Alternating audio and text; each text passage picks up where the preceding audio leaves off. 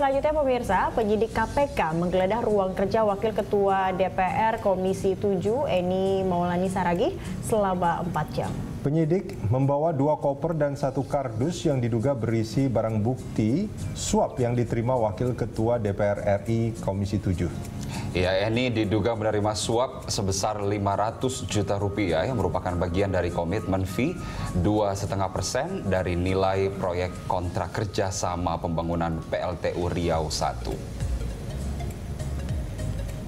Ini tadi yang kita hmm. bicarakan ya soal. Iya, kalau swasta oh, apa-apa ya? gitu ya. Iya.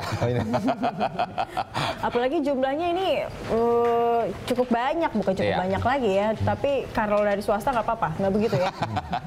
Tapi itu yang kemudian masih terus didalami uh, oleh KPK gitu ya. Uh, pasca ditangkapnya Wakil Ketua Komisi 7 ya. Yeah. Komisi 7 Eni Saragi.